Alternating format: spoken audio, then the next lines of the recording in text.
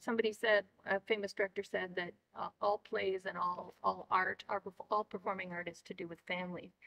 And if you, if you look at most plays, um, that is indeed the core basis for, uh, al- almost every play you can think of.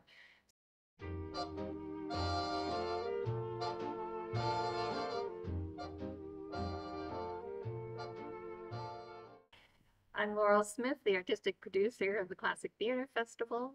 It's a project of Burning Passions Theatre, which was launched in Toronto way back in the 90s. And uh, we moved to Perth in 2010.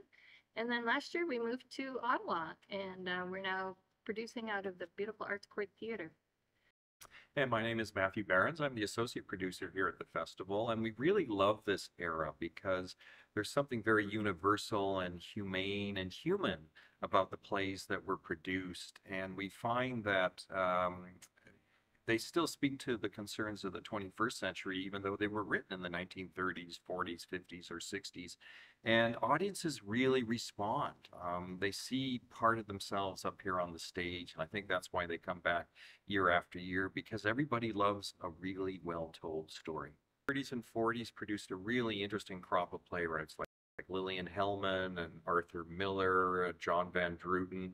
And again, these are people who you might not know their names, but you know their stories. Death of a Salesman, All My Sons from Arthur Miller.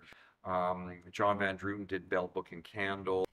So it's an era where the writing craft was really, really valued um, in in a way that I mean, you know, writing is still really important today. And I think if we look at what happened during the pandemic, um, what is it that got people through? It was watching well-told stories on Netflix and on the streaming platforms. But I think there's only so much you can do online um, before you really crave for and miss the interaction you have with a live audience. And we've seen that here just in the first four performances of Affairs of State, where you hear people laugh at a line that you don't expect, um, or you hear a response of just sheer release from the audience because they're happy with the conclusion of the play or, or certain lines that are said. Well, one of the interesting things about this era is that we're in the world of naturalism. So we try to be as authentic as we can in terms of the period, um, right down to the crystal doorknobs. So I'm, I'm a bit of a maniac when it comes to uh, making sure that things are authentic um, as much as they can be. Uh, we try to source things that are, are from the period and that people will, will know are not anachronisms. Um, they're, um, so ev- every single prop, every single costume, uh, every single hairstyle has to be uh, authentic for that, that time period. So I think that provides um, both the audience and the, and the performers um, a way in to the play. Because if you're in a, a particular high heel, uh, it feels different than you're in sneakers. Um, so there, and, and having the, the elaborate hairdos uh, with wearing hairnets, no one wears hairnets anymore uh, our, our protagonist wears a hairnet because that's was done in the day. So it, it allows them to um, enter in, again into the psyche and the world of, of the character. Um, I think in a really visceral way, in a, in a physical way, as well as a, an emotional one. It's nice to be part of that tradition.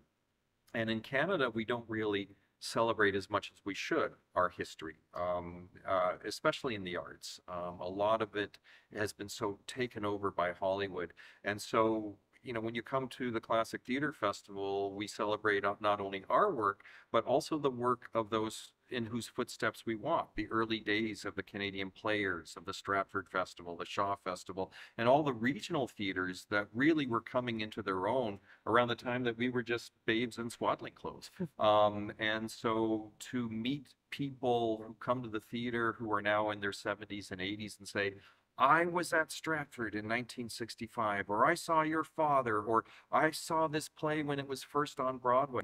And we love it when audiences can have that kind of a connection.